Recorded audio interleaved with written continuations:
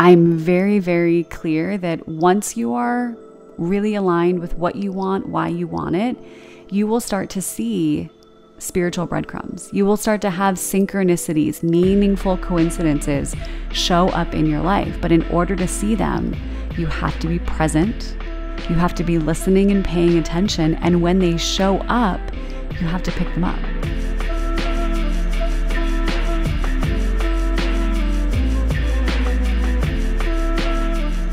Hello, hello. Welcome to Spiritual Real Talk. I'm Megan Monahan.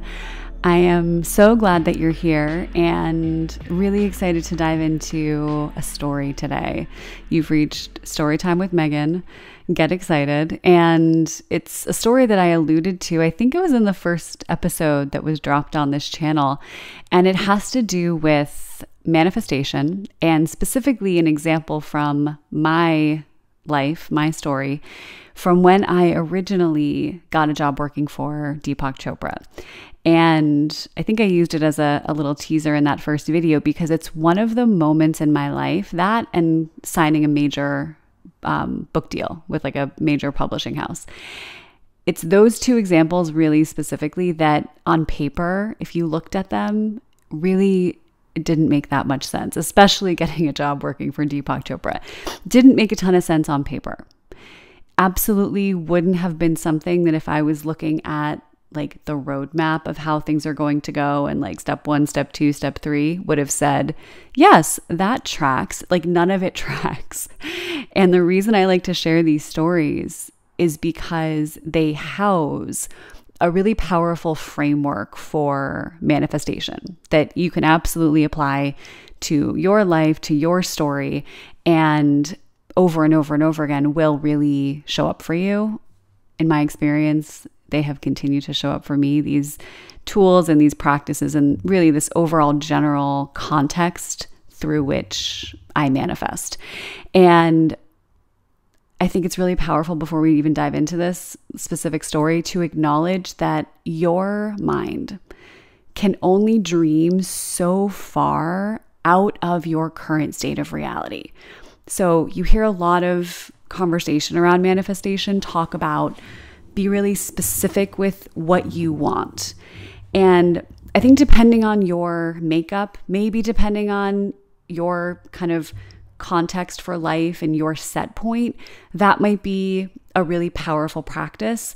For me, the greatest manifestation for me comes when I am really detached from the specifics. One of my favorite mantras that I use or affirmations is maybe I don't know what's best. Because let me tell you, that like inner New Yorker in me really thinks I know what's best for myself and probably for you, for like whoever wants to give me an ear. Like that part of me that ego absolutely thinks that it knows what's best. And I find that when you can put down that kind of specific order from the menu and instead focus on why you want what you want and what underlying feeling or inherent desire that tangible manifestation is going to satisfy, that is when the absolute best version of that desire can truly like drop into your sphere. So the first time I ever really experienced that, and and maybe actually not if I if I go back, I haven't actually audited prior to meditation in my life if if this ever showed up before. So maybe I'll do that as my homework. But the first really big example that I have to source is getting a job working for Deepak Chopra. And and it's a good story. And it was a really monumental point in my journey and real kind of fork in the road that totally changed where I have ended up. And the fact that I'm sitting here talking to you lovely folks right? So the year is maybe 2011, end of 2010, maybe, probably 2011. And I had left my job working in the music industry. I got really clear after doing two different retreats at the Chopra Center, which is down in San Diego at the time. I got really clear that what I wanted to focus on wasn't, you know, ticket counts for some artist's show in London or proofing contracts or right i was really clear that what i wanted to do and what was making me feel energized and activated in the most powerful way was helping other people learn the tools have access to the tools and practices that over the last year and a half 2 years had really changed my life transformed me as a person and in turn totally transformed and shifted my life my health my my mental health, my physical health, the way I navigated emotions, the way that I moved through relationships, all of it had really shifted monumentally. And I felt this deep, deep calling to help other people um, learn the things, experience transformation, and and you know change their life. And I really didn't know what that was going to look like.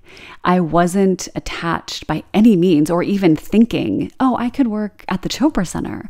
You know, I could move from LA down to San Diego and create a life here and continue to do my own work and also help people and be a part of this, you know, purpose driven organization that had helped me so much. No, no part of my brain was thinking that. In fact, and I say this just full transparency, no judgment, please. My brain, my mid 20 something brain, thought, You live in LA, you want to work in wellness, you should work at Lululemon. because what changes lives more than a great pair of leggings? I don't know. Certainly not like all these deeper practices, you know, the leggings are where it, where it's at. Um, shout out to Lululemon because low key they did become a massive part of my journey later down the road, but it wasn't it wasn't for this moment. It wasn't for this version of Megan. So I did apply for a job working for Lululemon. Spoiler alert, I, I didn't get the job.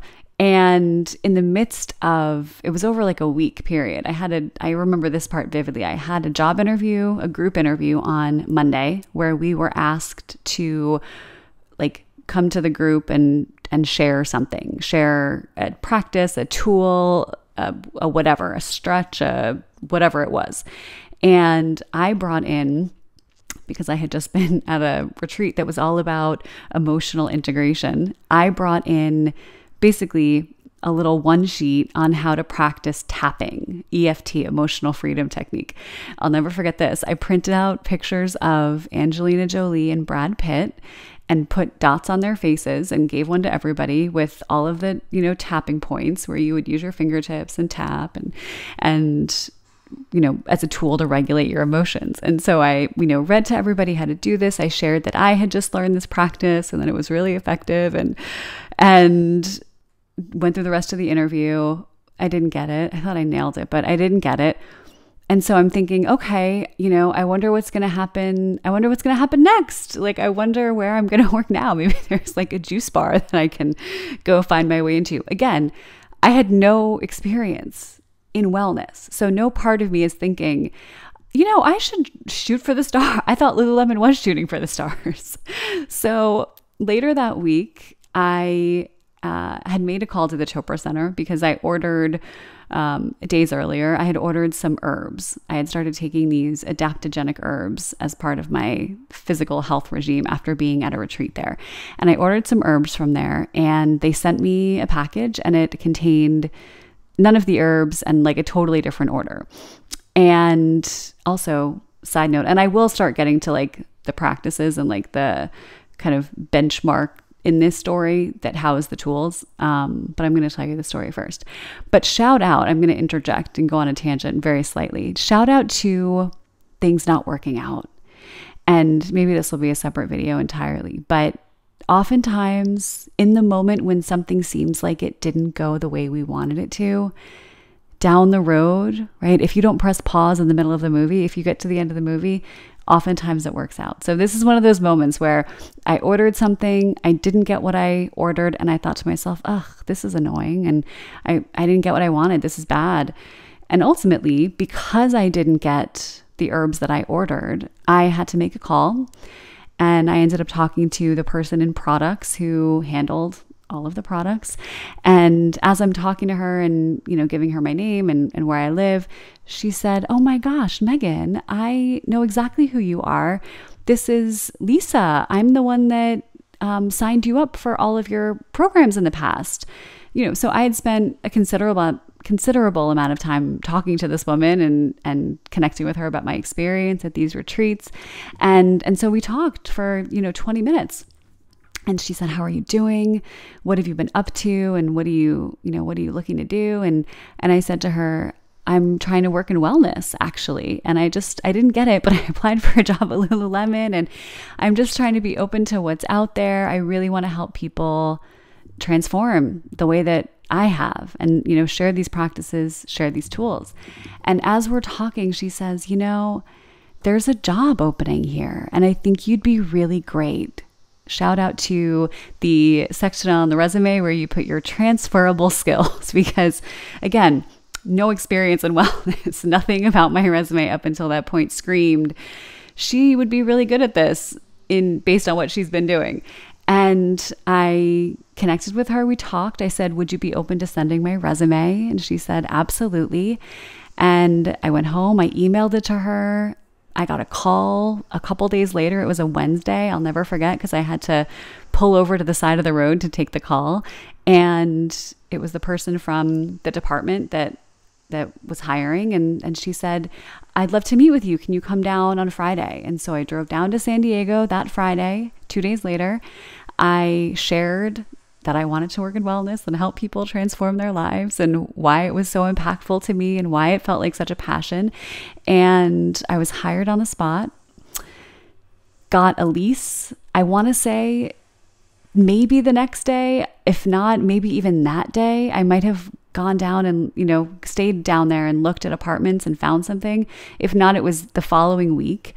Signed a lease that wasn't totally out of budget, but it would have been a real stretch if I didn't end up being good at this job, which had a part of the compensation be based on performance.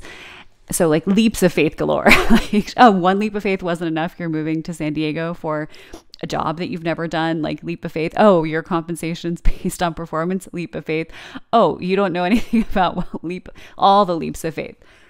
And I moved down there, totally uprooted everything, massive leap of faith. And that was the beginning of a totally different existence, an opportunity to literally be around the most incredible spiritual thought leaders and really like pioneers in this world. The ability to have access to, you know, Deepak Chopra and and to have master teachers teaching me and being a part of also learning the business side of wellness and how to create experiences, how to show up for a client, a customer, how to hold space. I mean, when I tell you that it was a 360 degree immersion, because that's what my whole life there was based on. And everyone that I knew that I became friends with worked there. And it became the most incredible next couple of years that I worked there full time. I became a certified meditation teacher. I traveled. I was a part of retreats. And I can absolutely say that had that not happened, I don't know what that would have looked like for me. And I don't know if it would have been as potent of an experience and therefore a version of myself that kind of steeped, if we're if we're going to go with like a tea analogy here. You know, that that tea that I was put into was saturated and potent and it ended up drawing out of me like the deepest essence of who I am and helps me learn and evolve as as a person as a you know being and then as a teacher and in all these different ways and what I always come back to is again, I'm going to spell out this framework for you, which is number one, when you feel like you really want something, if it feels like you're attached to the tangible part of the desire, ask yourself, why do I want this? Why do I want this job? Why do I want this relationship? Why do I want even something little, this this new bag? Why do I want to move? What's the inherent underlying why and and what what's the feeling or ultimately and ideally how is this connecting you to furthering your fulfillment of purpose? I always say, like, the fast track to manifestation is manifesting something that allows you to be more in purpose within yourself and then in service to the world. That's when I think the universe really like clicks into high gear when it's like, oh, she wants this thing for herself, but she wants it so that she can evolve into a different version of herself that can then be of service in a bigger way. You know, so so in my experience, that's like the golden ticket hack. Second thing, I'm very, very clear that once you are really aligned with what you want, why you want it, you will start to see spiritual breadcrumbs. You will start to have synchronicities, meaningful coincidences show up in your life. But in order to see them, you have to be present. You have to be listening and paying attention. And when they show up, you have to pick them up. You have to engage with them. So if, let's just say, when I was calling the Chopra Center and speaking to Lisa, and she said, What are you up to? I said, um, Nothing. I'm just, you know, hanging out, trying to figure it out. Period. End of sentence. She might have said, Okay, cool. Well, good luck. I'll send your herbs. Instead, I said, I'm actually really looking for a way to be in service and and help people and share what I've learned and I engaged. I didn't quite realize that it was a spiritual breadcrumb, but I was really present and I really engaged. And then when more spiritual breadcrumbs showed up, oh, and I'll also say in that little part of the the story, I also said to her, if I send you my resume, can you send it in? Instead of just saying, okay, great, I'll like check out the link online, right? Engaging, picking up the breadcrumb, engaging with it. When I got the call, can you come down for an interview? Absolutely when I got the job, I was like, "Can you can you show up for this breadcrumb?" And that looked like a leap of faith in that moment for me. And as you move through the kind of journey of that manifestation, you will likely be faced with a lot of even really subtle moments of do I want to say yes and lean in from a place of trust, from a place of expansion and abundance, or am I going to let fear be the thing that guides me? And ultimately, you know, this is a similar story to signing a book deal. Maybe that's a separate video. But again, you know, when I signed a book deal, I didn't want to write a book. I wanted to share my voice with more people. I wanted to share these tools with more people than I could reach just teaching classes in Los Angeles. You can reach way more people with a book with words. You know, it's way more accessible than someone having to go to a retreat, let's say, being able to go buy a book. Um, so get really clear on why you want what you want. Be committed and stay present in the journey of that manifestation. And when you see spiritual breadcrumbs, say yes, pick them up, engage with them, come from a place of worth, and don't be afraid to ask something specific, like, hey, can you send my resume? Or, hey, do you know anyone I can talk to about this? Or, right, don't be afraid to ask for what you need support with. And then when it shows up, keep saying yes from a place of love, from a place of trust and abundance and expansion. I actively, actively, you know, hand the credit of everything that looks on paper impressive in my life to that inner work. It's not necessarily the outer tangible mechanics that you have the most power over, it's that inner work. That inner work. How present are you being? How intentional are you being? How connected to purpose are you? And how much are you showing up in those even really subtle ways and engaging with the world around you to co create what it is that you want the most. It's really fun. It's so much fun to like play in this energetic exchange with the universe. So, a little bit of homework. This was a longer episode. So, thanks for hanging with me. I did want to tell you that story. And the homework, I don't really give you guys homework, but here we go. Homework. Take out a journal, write down if I didn't have to worry about the mechanics of its creation, what would I wish for? If I didn't have to worry about how or when or who, what would I wish for? Second prompt Why do I want this? Why do I want it? Why does it matter to me? Third thing, what do I want? Why do I want it? How will this manifestation help me be more in service of the world? How will this manifestation help align me more with my purpose, which is connecting with who you are and then being of service from that place to the world around you?